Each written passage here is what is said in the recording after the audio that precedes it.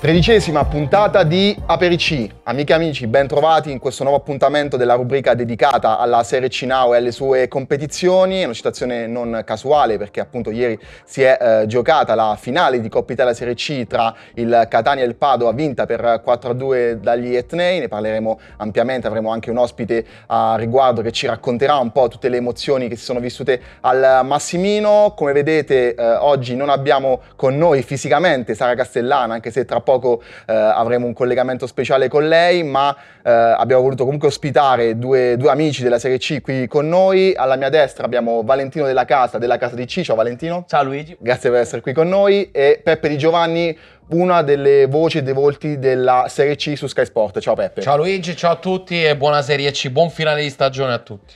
Noi siamo comodi, mettetevi comodi anche voi perché tra poco partiamo, come, di, come, dicevamo tanti sono gli spunti e gli approfondimenti da fare, quindi sigla e poi ci siamo, tredicesima puntata di Aperici.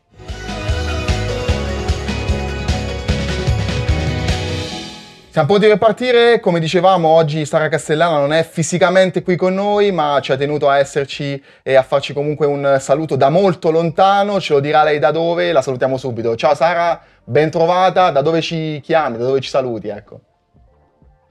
Ciao Luigi, ben trovato a te e ai nostri ospiti. Possiamo esatto. dirlo, quando ci sono io non viene a trovarci mai nessuno, siamo sempre io e te, e invece quando io non ci sono c'è tutto il salotto pieno. Allora, io sono a Boracay, nelle Filippine, okay. e eh, è un piacere per me essere con voi perché sto, mi sto godendo un po' lo spettacolo, perché sono stati tanti gol nell'ultima giornata di campionato, moltissimi gol nella finale di Coppa Italia che io ho potuto godermi anche da lontano. Perché?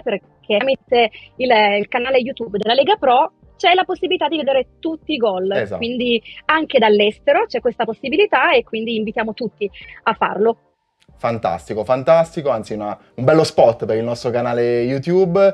Come vedi sì, ho invitato un paio di amici, cercheremo di non far sentire troppo la tua assenza, lasciamo tutto pulito, promesso, e chiaramente ti aspettiamo qui ecco, puntuali bravi. mercoledì prossimo perché ovviamente ci manchi già, ecco, quindi non vediamo l'ora di averti qui solo da noi. Vai Luigi, te la stai cavando alla grande, vi mando un, un bacio e davvero portate avanti questa trasmissione e fate godere tutti i nostri ospiti e i nostri tifosi appassionati della Serie C con tantissimi gol, anche dall'estero.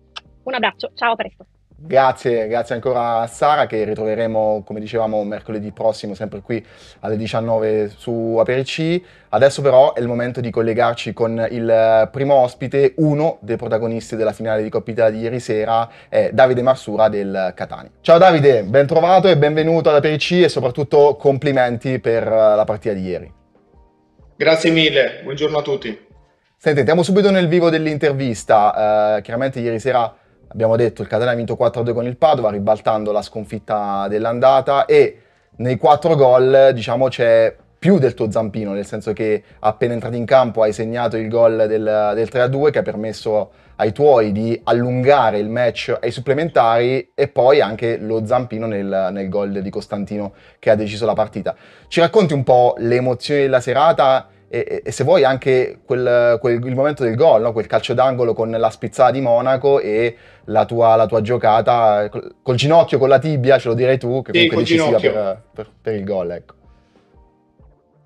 Sì, sono entrato in campo che sentivo che c'era un'area diversa, comunque giocare una finale è diverso che giocare le partite di campionato della domenica. Però ci ho sempre creduto perché noi in Coppa siamo sempre stati diversi da, da quelli del campionato e sapevamo che potevamo entrare nella storia, potevamo riscattare una stagione fin qui deludente e quindi per me abbiamo fatto una partita incredibile. Sul gol sono stato fortunato perché io ho messo la gamba e la palla mi è sbattuta sul ginocchio. Quindi... Ecco, quindi confermiamo il ginocchio, al VAR di Aperici confermiamo che il tocco è di ginocchio. Sì, col okay. ginocchio. Credo che c'è un dio del calcio che alla fine quando devi raccogliere i frutti con gli interessi ti torna tutto se lavori e ti comporti bene. Senti, una, una, vittoria che per voi è fondamentale anche perché ovviamente non arrivavate da un periodo felicissimo e eh, come dicevamo anche fuori onda vi può dare anche un'iniezione di fiducia per il proseguo della stagione visto che comunque vi aspettano le ultime quattro partite di regular season eh, molto, molto pesanti dal punto di vista proprio del peso specifico delle partite e dei punti in palio. Sì, come ho detto prima, in campionato stiamo, stiamo andando male. E con la squadra che abbiamo sicuramente dovremmo essere in posizioni diverse. Però abbiamo sempre avuto difficoltà, non c'è mai stato un momento che veramente siamo riusciti a ribaltare la stagione in campionato. Secondo me, poi, apro la parentesi, giocare a Catania è difficile e finché non lo provi eh, non, non, puoi capire quanto, quanto, è difficile quando le cose non vanno bene, perché inconsciamente ti rigidisci, giochi col freno a mano tirato e, e, quindi anche puoi comprare giocatori della Serie B, della Serie A, giocatori col nome, però quando le cose non vanno bene è difficile trovare una soluzione. Però credo che una partita come quella di ieri ti può e ti deve dare una svolta eh, in tutti i sensi.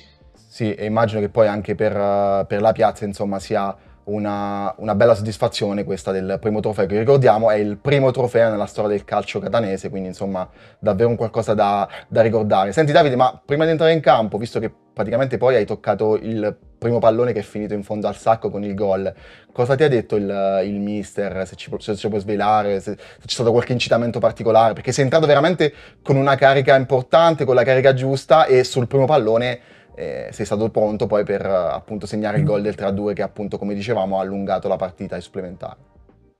Sì, il mister non mi ha detto niente di che, so che lui ha grande fiducia in me, eh, arrivavo da una botta alla testa che sono stato ricoverato, quindi magari mi ha fatto bene pure quella.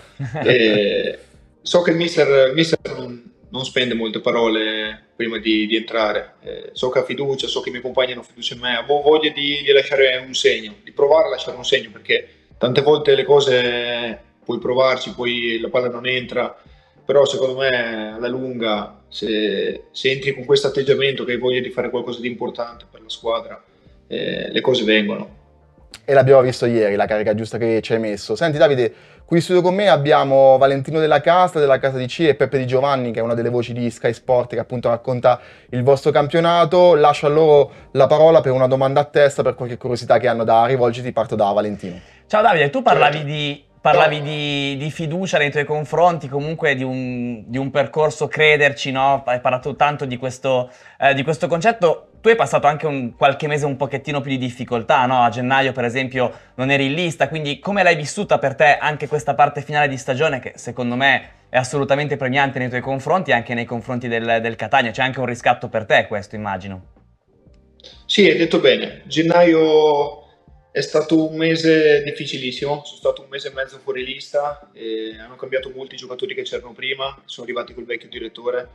Purtroppo quando scendi di categoria c'hai solo da perdere, se le cose no, non vanno subito bene come, come vorresti. Però io so sempre, cioè, se poi devo rimanere fuori lista, purtroppo non era una mia decisione, però sono sempre rimasto concentrato, mi sono sempre allenato tutti i giorni, non ho mai pensato di mollare e comunque volevo fare un anno a Catania, conclu- nel bene o nel male avrei voluto concludere, concludere un'annata, un'annata, qui. E ti dico, guarda, è chiaro che nessuno va a sperare che le cose cambino così, che cioè, era un sogno, però, però, vedi che alla fine ti sorprende, finché non l'hai fatto ti sembra tutto impossibile, poi, poi è bello. Peppe Di Giovanni? Ciao Davide, io ho un paio di curiosità, cioè la prima, secondo me ce l'hai detto in qualche modo tu, cioè questa squadra probabilmente ha un problema mentale in campionato perché è una squadra che rimonta due gol al Padova perché era sotto all'andata, era sotto subito al ritorno, è una squadra forte anche mentalmente, probabilmente in campionato c'è il peso di quella classifica che non funziona. Inoltre, hai detto giustamente, Catania è un ambiente molto pesante quando le cose non vanno bene, forse giocare senza pubblico vi ha isolato in un momento del genere e vi ha dato di più paradossalmente, cioè un pubblico meraviglioso, così caldo che però quando le cose vanno male diventa quasi controproducente, siete rimasti un po' soli in quella partita e vi siete raccolti fra di voi, almeno io credo, da quello che abbiamo visto. Sì, io sono, sono sincero, io la penso un po' come te, cioè se ieri ci fosse stato il pubblico, che ripeto qui è un pubblico solo da, da, applaudire perché quando le cose vanno bene hai una marcia in più, proprio non te ne rendi conto, sono, sono incredibili questi tifosi.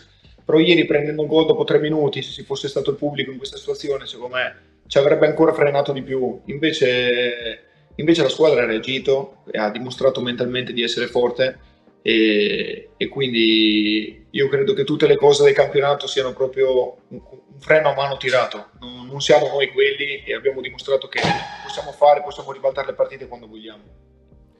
Davide, noi ti ringraziamo per questo contributo e anche per averti, diciamo, strappato ai festeggiamenti di ieri, ma anche alla preparazione delle prossime partite. Ti facciamo un grandissimo in bocca al lupo per questo finale di stagione e poi per, uh, per quello che sarà dopo. E insomma, ancora grazie per essere stato qui con noi ad Aperic e ti, ti, ti abbracciamo quando vuoi. Sai che qui c'è sempre posto per, per te.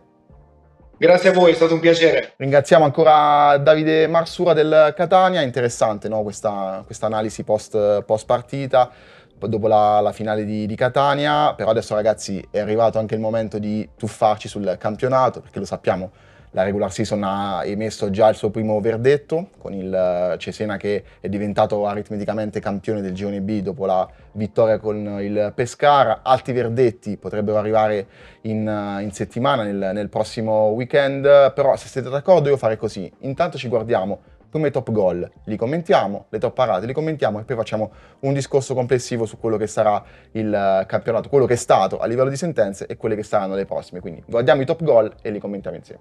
Yeah.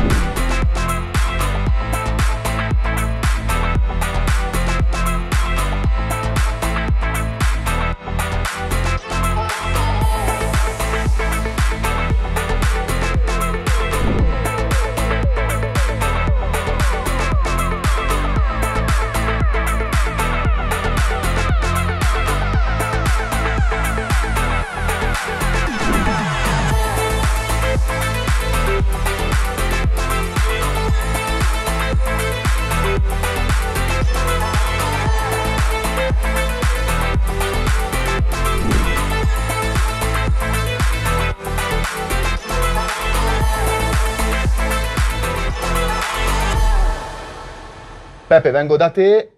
Miglior gol, la palma di miglior gol a chi la diamo?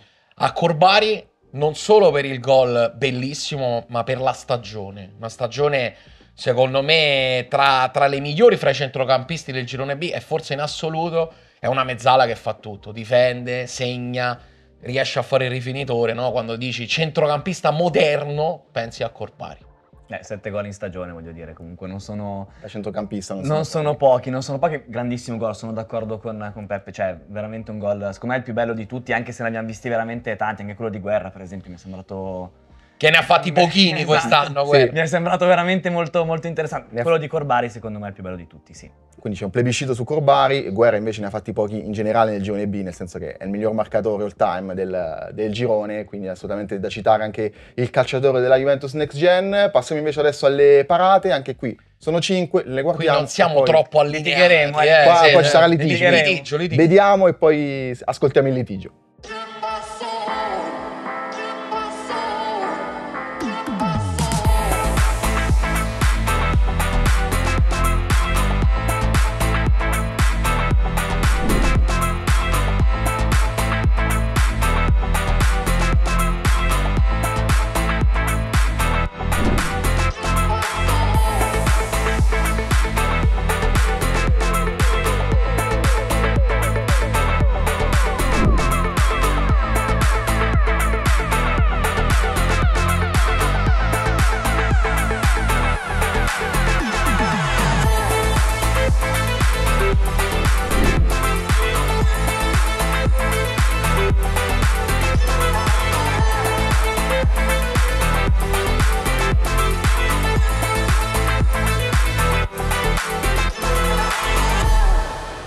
Stavolta la palla la passo prima a Valentino, quindi si apre il dibattito, come direbbero quelli Allora, io ti dico che secondo me la migliore parata l'ha fatta Sibi. Perché è stato veramente un gesto cioè, ottimo, veramente. Devo dire che ne ho viste tante, anche quella di Donnarumma secondo me era veramente molto bella, ma so che tu non concordi né con l'una né con l'altra. No, allora, per me Donnarumma è secondo, ma la miglior parata la fa forte, perché prende un tiro raso terra, forte come il suo cognome, da tre metri, riesce, un portiere molto alto, ad andare giù e a fare questa parata che secondo me è sensazionale. Peraltro possiamo dire che è la parata che consegna alla Juve Stabia il campionato perché ferma esatto. il Benevento e adesso c'è Benevento Juve Stabia però ti ho anticipato il sì, tema esatto mi, mi, hai dato l'assist perché abbiamo appunto parlato eh, del, del girone B, tra un attimo parleremo anche del C, però ecco, volevo un attimo concentrarmi con voi molto rapidamente sul cammino che ha fatto il Cesena, tra l'altro anche sulla coreografia che il Manuzzi ha regalato alla squadra nella partita col Pescara, che secondo me è molto esplicativa, ovvero tutti i calciatori che dal settore giovanile sono arrivati a giocare in prima squadra e settore giovanile sul quale poi i romagnoli hanno costruito l'ossatura della squadra che ha stravinto il campionato, no? quindi un bel segnale anche per tutto il calcio italiano. Ce l'aveva raccontato anche Mimo Toscano da Perici qualche, Esatto. qualche puntata fa, comunque i giovani hanno fatto la differenza a Cesena, direi che non ci sia nulla da dire, poi Spendi ha fatto un campionato strepitoso, miglior marcatore di tutta la 20 Serie C, esatto. quindi parliamo di veramente di un giocatore che è sicuramente è pronto per- purtroppo per la Serie C è pronto per la Serie B, nel senso che non lo potremo più vedere eh, sulla Serie C Now l'anno prossimo, credo, però veramente parliamo di un, di un grandissimo giocatore con, con ottime prospettive, quindi... Secondo te Peppe potrebbe ricalcare le orme del fratello e quindi magari fare già il salto anche in A? Secondo me è meno tecnico e più cattivo del fratello. Cioè, il fratello è più un giocatore, è stato messo prima punta nell'Empoli, ma un giocatore che secondo me può fare più l'esterno, invece lui è più bomber. Questa è una squadra, secondo me, la più forte delle 60.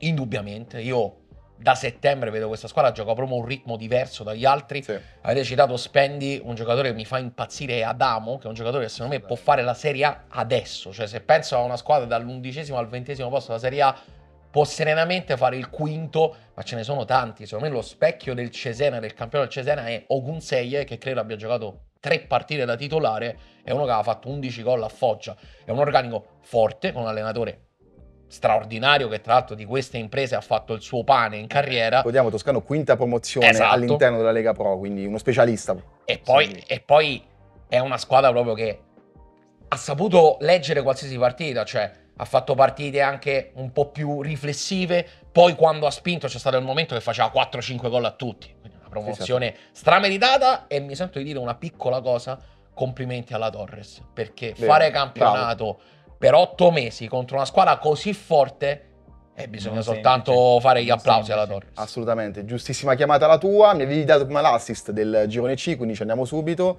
Girone C che appunto vivrà il eh, big match no? nel prossimo weekend con eh, la prima contro la seconda, Juve Stabia contro Benevento. Valentino, basta un punto alla Juve Stabia anche qui per certificare una promozione che probabilmente in questa stagione nessuno quasi avrebbe auspicato. No, direi sorprendente, sono, sono d'accordo con te, però assolutamente meritata perché Assolutamente. che Juve Stabia stia facendo anche in questo caso un ottimo campionato, più o meno come il Mantova nel, nel girone A. Esatto. Visto che stiamo parlando di Verdetti, direi che eh, insomma, eh, spero che i tifosi non, non se la prendano a male, però credo che ci siamo, che ci siamo quasi, insomma, per quanto riguarda le prime. Ottimo campionato della Juve Stabia, veramente sorprendente. In realtà trovo sorprendente anche quello del Mantova, in particolare il lavoro di Postanzini che secondo me ha fatto veramente Guarda, sulla Juve Stabia è la squadra che mi ha ehm, stupito di più. E secondo me ha fatto una cosa. La cosa che gli ha fatto vincere il campionato l'ha fatta a gennaio. Cioè, la Juve Stabia si faceva il paragone un po' con la Juventus in Serie A quando c'era il momento che vinceva le partite un po' sporche. Tanto poi c'è il calcio d'angolo e segna Bellic di testa. Quante ne ha vinte così? Sì. Dietro lo difendeva benissimo e si pensava non è che può prendere 5 gol in un girone anche nel girone di ritorno. A quel punto Pagliuca ha alzato la qualità, la società è intervenuta sul mercato, hanno preso Adorante, acquisto azzeccatissimo, azzeccatissimo. Già in doppia cifra da gennaio a oggi. Esatto. Ottimo. E hanno migliorato la qualità offensiva del gioco. Cioè, nel momento in cui tutti pensavano, eh, ma tanto la Juve Stabia può crollare perché dietro ci sono su tutte Avellino e Benevento, la Juve Stabia è migliorata proprio come complesso di gioco ed è anche questa una promozione strameritata. così come sarà strameritata con tutti gli scongiuri del caso, chiaramente quella del Mantova che ha mancato il primo match point eh, domenica scorsa, ma può rifarsi già. Però è stato molto bello anche l'applauso che gli hanno dedicato Vero. i tifosi alla fine della partita. Nel senso, festa mancata, ma in realtà festa comunque. Cioè, secondo me è stato un, un bellissimo segnale. Anche perché va detto Valentino, l'abbiamo visto prima nella top, go- nella top parate, pardon, ha trovato di fronte un Vismara che ha preso qualsiasi cosa, quindi ha- Sì. a- a- era anche in giornata di grazia il portiere, un altro dei portieri che stiamo vedendo in questa Serie C. No, però ecco, il Mantova che eh, manca, manca un punto alla squadra di Bostanzini per eh, arrivare in Serie B, se non sbaglio, dopo mh, più di dieci anni, no? Eh, dopo tanti Più anni. dieci anni. dopo tanti anni che 14. mancano, esatto. E ecco, quello che vi chiedo sul Mantova è, visto che parliamo di una situazione anche qui molto sorprendente rispetto a quello che si pensava ad agosto dell'anno scorso, di, farvi- di farmi un nome su tutti, anche se so che non è semplicissimo, di un giocatore simbolo di questo campionato o anche di un eh, non di un giocatore, parto io, cito Postanzini, Eh, che secondo me anch'io. ecco, è, è proprio l'emblema no, di questa Secondo squadra. me Postanzini ha fatto veramente un, un capolavoro proprio perché cioè, ha, ha- ha creato una squadra con delle aspettative importanti ma non così importanti e l'ha resa proprio una certezza di questo, di questo girone. Guarda, sarebbe troppo facile dirvi Galuppini, che è un po' l'uomo con copertina per quanto riguarda i giocatori. Sarebbe affascinante dirvi Fiori, che era un giocatore che giocava in Serie D, altra intuizione geniale. Vi dico Sasà Burrai, che è un giocatore che secondo me avrebbe meritato un'altra carriera. Cioè, sono quei centrocampisti vecchio stampo che parlano col pallone, Sì. diciamo, e quindi insomma io dico Burrai, ma come avete detto bene, questa è una creatura di, di Possanzini. No, anche Galupini in effetti, ci stavo pensando Galupini è un'ottima, è un'ottima chiamata, poi è comunque un esperto della categoria, la conosciamo. Sì, e poi ormai la sua esultanza è diventata iconica, anche Esatto. sui social, no? Ci ha Esatto. dato tanti spunti di, di lavoro e quindi anche per quello lo, lo ringraziamo. Eh, chiaramente ragazzi, eh, guardando un po' il campionato e le ultime quattro giornate di regular season, andiamo verso partite molto decisive, piazzamenti da definire sia in chiave playoff che in chiave playout. Vi chiedo magari in un minutino di fare un attimo un, un recap per capire un po' ad oggi quelle che potrebbero essere le, le griglie playoff e, e playout, anche perché soprattutto per i playout lo sappiamo, ad oggi diversi scontri non si giocherebbero per la famosa regola degli otto punti di distanza, no? Eh, io partirei dal Catania, Vai. visto che è stata la nostra apertura. Il Catania con la vittoria della Coppa Italia entra di diritto nei playoff, pur eh, non avendo una classifica, diciamo, ottimale, come anche ci ha detto eh, prima Marsura. Eh, la cosa interessante è questa, però, perché il Catania è a più 8 rispetto alla penultima, quindi do- se dovesse evitare i playout, arriverebbe di diritto nei playoff, e tra l'altro non nella prima fase, ma nella fase dei playoff nazionali, quindi dopo le prime tre partite. Quindi- Come le terze. Esattamente, come terze, anzi sarebbe tra le migliori delle terze, infatti Esatto. affronterebbe la peggiore delle classificate della prima fase dei playoff. E occhio al Catania, perché adesso che ti sei tolto un po' le scorie, arrivi ai playoff dopo una stagione dove sei stato nettamente al di sotto delle aspettative. Trovi delle squadre che sono scariche, arrivano a quel punto che hanno fatto magari 30 punti in più del Catania, è un campionato che li ha prosciugati, invece il Catania arriva paradossalmente in una situazione in cui tutto è da guadagnare. Deve ancora arrivarci, manca qualche punticino per, per assicurarsi, perché ricordiamo, se dovesse andare ai playout sarebbe tutto perduto. Però, però molta attenzione. In chiave playoff c'è stata una partita molto importante nel girone B con la Carrarese, altra squadra cui vanno fatti i complimenti, con Certo. Calabro in battuta, 13 risultati utili di fila, che ha battuto il Perugia, dovrebbe insomma arrivare terza ed è una posizione di, di grande vantaggio. Ricordiamo invece che le seconde entrano a quelli che sarebbero i quarti di finale, Certo. con le 5 qualificate, le 3 seconde, poi inizia un vero e proprio tabellone da, da Sarà da, quarti di- sarà da divertirsi comunque. Un mese e mezzo di playoff. Ma è un altro eh, campionato. un altro campionato. Noi che non li giochiamo ma che li raccontiamo non vediamo l'ora, ecco, quello, quello sicuramente. Telegrafici ragazzi perché siamo in chiusura, faccio una domanda cattivissima, so che mi odierete, se Peppe Di Giovanni dovesse mettere ad oggi una fish su una squadra favorita per i playoff, la metterebbe su? La metterebbe sulla Casertana. Ok, Così. Sì, Così. perché è una squadra che ha tutto, l'esperienza, quattro davanti che sanno vincere i campionati, un allenatore molto preparato e che soprattutto arriva libera a giocare i playoff. Valentino? Io dico il Catania. Proprio per quel discorso che faceva prima Pep, perché comunque la rosa è importante, Eh, è andata sotto le aspettative però è importante e questo fatto di aver vinto un trofeo riporta entusiasmo, la piazza che li carica, la piazza sappiamo bene quanto, quanto possa influire, diciamo, insomma, diciamo un discorso di tifosi molto importante. Quindi comunque pescate dal girone C, eh, quello che mi pare di capire, così Sì. come adesso peschiamo brevemente dai nostri canali social dove vi proponiamo sempre nuovi spunti e nuovi contenuti da spulciare. Chiaramente vi rinnovo anche l'invito a seguirci su tutti i nostri canali social, di chiaramente seguirci e iscrivervi sul canale YouTube, attivare la campanella per non perdervi nemmeno un contenuto. A proposito di contenuti, molto brevemente vi mostriamo, abbiamo parlato prima della- del Mantova e del match contro l'Atalanta Under 23 terminato 1-1, noi abbiamo voluto presentare la partita con eh, questa grafica che vedete in eh, sovraimpressione, quindi con la sfida tra i virgiliani, quindi eh, tra Virgilio e la Dea Atalanta, una sfida anche molto, ehm, molto ellenica, no? se, se, vogliamo, che riporta un po' al passato. E, eh, e, vogliamo ricordare anche che nel weekend appena trascorso, quello di Pasqua e Pasquetta, la nostra rappresentativa eh, Under 17 guidata dal CT Daniela Rigoni ha ottenuto un ottimo terzo posto al torneo nazionale Magioni Righi, noi ve l'abbiamo raccontata durante tutto il weekend e eh, anche poi in chiusura di torneo, quindi un plauso di nuovo ai nostri ragazzi che stanno inanellando davvero una serie di risultati molto molto importanti in queste, in queste giornate. Siamo arrivati adesso alla conclusione ragazzi, uh, prima di salutarci diamo qualche annuncio in, in conclusione partendo dall'appuntamento che oggi mercoledì 3 aprile si è tenuto a uh, Monopoli con una nuova tappa del progetto Terzo Tempo e vi ricordiamo come al solito puntuale l'appuntamento per uh, sabato alle ore 20 sul nostro canale YouTube con la differita integrale di uno dei match della nostra primavera, primavera 3 e primavera 4.